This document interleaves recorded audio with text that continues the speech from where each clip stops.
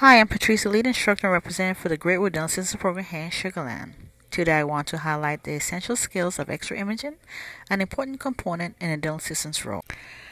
X-rays provide the dentist with crucial information in order to diagnose conditions that may not be visible during the standard oral exam, such as cavities, bone loss, or impacted teeth.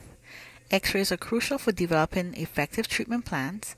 The dental assistants play a key role in taking high-quality imaging that guides these plans. Strong X-ray skills contributes to a more efficient practice, helping dental assistants create a smooth workflow and process patients more quickly. At the Great Dentist program, we prioritize and ensure high quality training in X ray techniques to empower our students as they prepare for their careers. By mastering X-ray techniques, the students enhance their expertise and also become a valuable member at a dental office, opening doors to exciting opportunities in their professional journey. Our program offers students hands-on experience with various types of X-rays. They practice taking bite wings, which show the upper and lower teeth of the specific areas of the mouth, helping to detect cavities and assess bone levels. We also cover anterior and posterior periapical X-rays, which focus on a single tooth and the surrounding bone, which is used to assess the health of the tooth root and the surrounding tissue.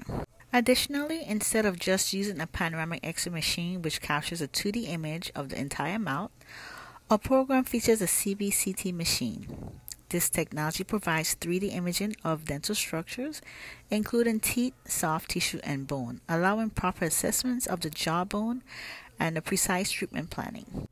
Provide students with a comprehensive understanding of X-ray techniques, our program incorporates both digital sensors and phosphor plates.